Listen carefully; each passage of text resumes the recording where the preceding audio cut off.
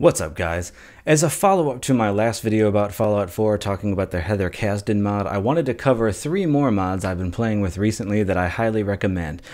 And these are three that I don't see covered a whole lot in other mod review type videos, and so I thought that would be useful to mention them to people in case you'd not heard of them, because some of them I, despite having 2,000 hours into this game, hadn't actually come across until somewhat recently.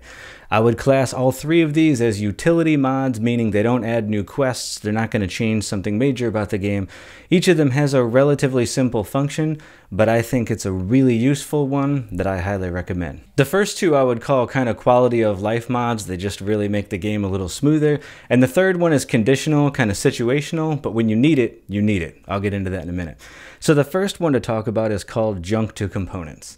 And basically what this mod does is it goes through your inventory and any junk stuff that you're carrying around like desk fans, makeshift batteries, stuff that's heavy that can be broken down into components.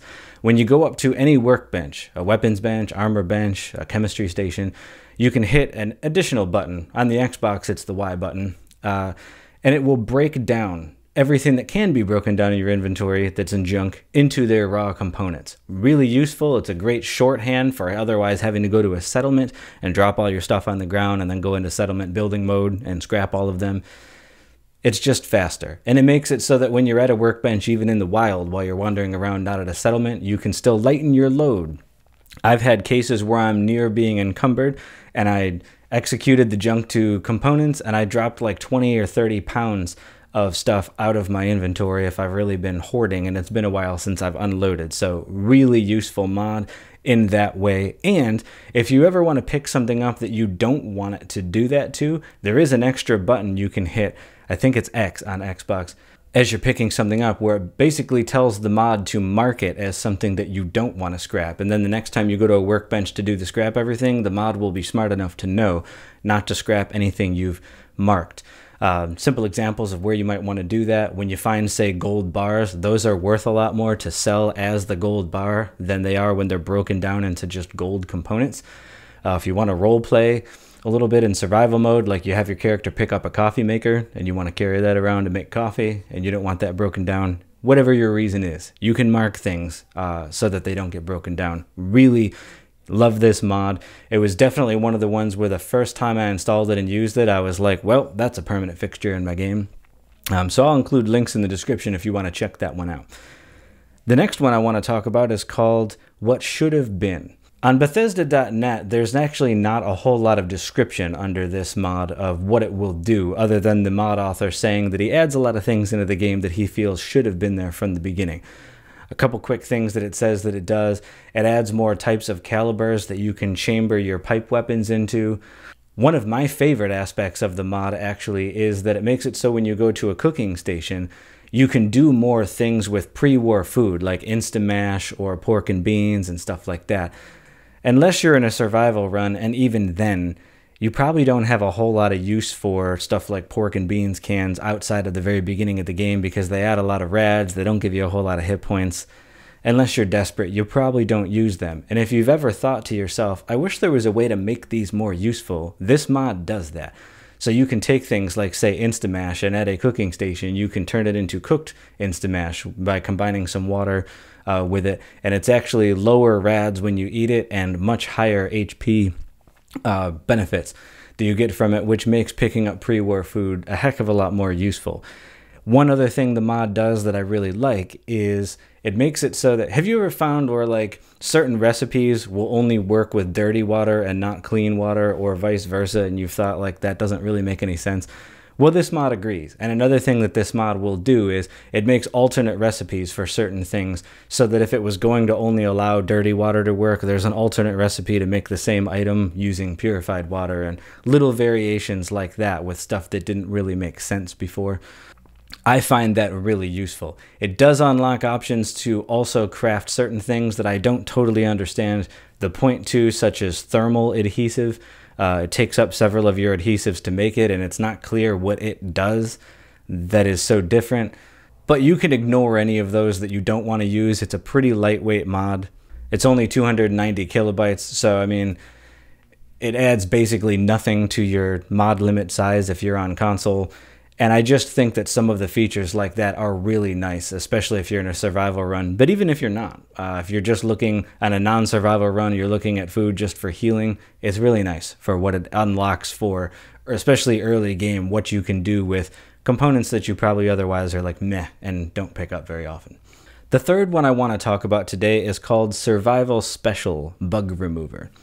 What this does is it addresses a bug that you may go the whole game with never encountering, or you may get this. And it's a bug that's often talked about in forums, where things that change your stats, like a penalty or something, sometimes aren't temporary like they're supposed to be and end up sticking and becoming permanent.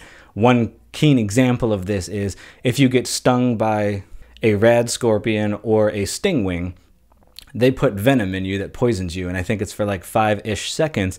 It does negative five to your perception. The problem is if you use Med-X, which actually adds poison resist, if you take that after being poisoned, it bugs the game out. And at the point where the poison is supposed to wear off and your perception is supposed to go back to normal, it doesn't, and then you're stuck with this permanent penalty in the game. Uh, that can also happen if you're using, uh, if you ever use cheat codes. So I've been in this case once before where say it's been like 40 minutes since you saved and then you're kind of low level and you run into a big rad scorpion and it hits you once and you don't have any healing items that are going to heal you fast enough and you're like shoot it's probably going to kill me and I do not want to do 40 minutes over again. And so you activate god mode. Uh, whether through the command console on the PC or if you have the cheat terminal on Xbox or PlayStation. Sadly, this will cause the same bug. If you have God mode on while you're poisoned, it won't let the poison release properly and you can wound up with the same bug. Now on PC, people have console commands that you can enter uh, to try to relieve this, but even at that, some people say it's a little difficult to figure out exactly what variables to be using.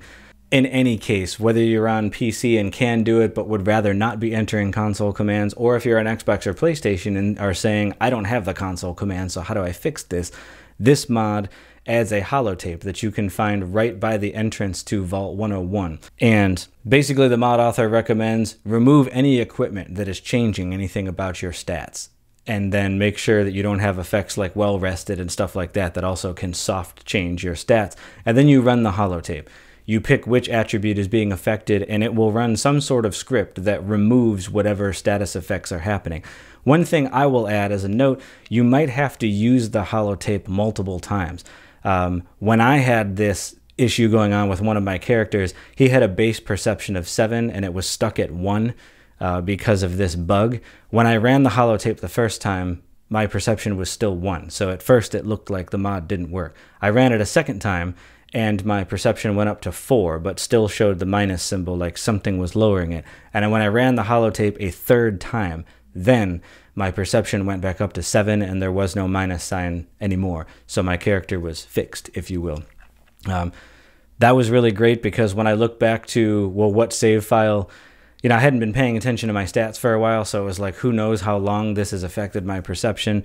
And it was hours and hours back before that was an issue. I did not want to have to backtrack. This mod solves that uh, in a very lightweight and simple way and you can just leave the holotape in your inventory the rest of the game in case that ever comes up again. And if it never comes up again, again, this is another very lightweight mod that really doesn't add much to your load order to have it just in case you need it. Um, I really recommend it. Like I said in the beginning, this is kind of situational. You might go the whole game never needing this, but man, if you need it, this is the best way I have found to relieve this particular problem. So anyway, that's going to do it for this video. Those are, like I said, three mods that I don't see talked about very often that I think deserve their due. And while I have played the game for many hours on PC, I am more recently trying it again on Xbox, and all of these are available uh, on Bethesda.net for Xbox in addition to the Nexus for PC, and I really recommend them. I think they add a lot of useful utility into the game, and like I said about the first two, to me, they're just a permanent load order item now because of what they add into the game. Uh, that's just really nice. Leave your comments below if you have other mod suggestions that you think I should cover or you want to recommend to other people following this video. And otherwise, guys, I'll catch you in the next one.